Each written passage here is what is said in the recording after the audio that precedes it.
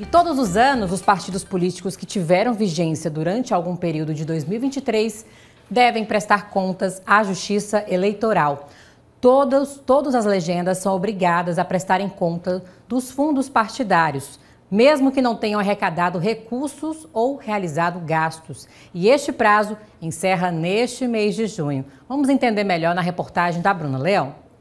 Dia 30 de junho encerra o prazo para prestação de contas dos partidos políticos, que devem informar à Justiça Eleitoral toda a arrecadação de recursos e gastos realizados ao longo do ano. É, anualmente, os partidos políticos eles são obrigados a prestar contas referentes ao seu fundo partidário.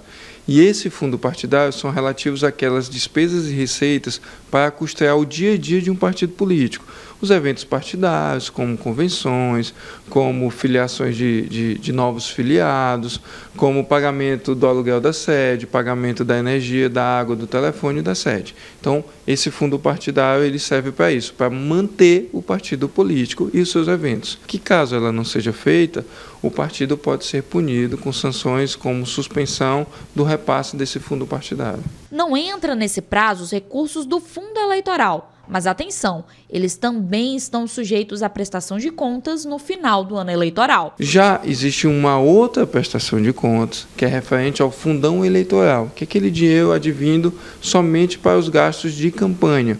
E aí é uma outra prestação de contas que é feita durante e após as eleições, que é diferente dessa prestação de contas do dia 30, que é referente ao fundo partidário. Se ele não arrecadar e ele também, obviamente, não gastar, ele precisa também informar isso junto à Justiça Eleitoral. Ele precisa juntar o extrato, ele precisa ter um contador devidamente habilitado no Conselho Regional de Contabilidade para informar: olha, não houve receita, não houve despesa, mas ele precisa prestar esta conta, mesmo que não tenha recurso. Já as vaquinhas online que se popularizaram durante os últimos anos têm regras próprias, uma vez que o pré-candidato só terá acesso após formalizar sua candidatura sendo o dinheiro intransferível. Ele somente pode utilizar empresas devidamente cadastradas junto à Justiça Eleitoral.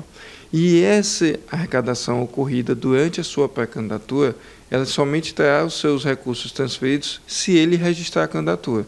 Ele registrando a candidatura, ele vai ter um CNPJ próprio e vai ter uma conta específica. E aí esse recurso passa a ser do candidato. Se ele desistir, não participar da convenção, ele não registrar sua candidatura, esse recurso ele retorna para os doadores sob responsabilidade da empresa. Tendo em vista que toda doação ela precisa ser devidamente registrada com CPF, com o nome do doador, até mesmo para que a Justiça Eleitoral possa verificar se não tem pessoa jurídica, se não tem pessoas que recebem é, benefícios do governo que estão doando de maneira ilegal.